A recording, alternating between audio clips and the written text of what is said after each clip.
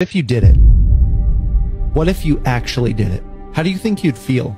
I mean, just for a minute, think about what your life would look like if you hit every goal that you have. If you actually went out and did everything you said you were going to do.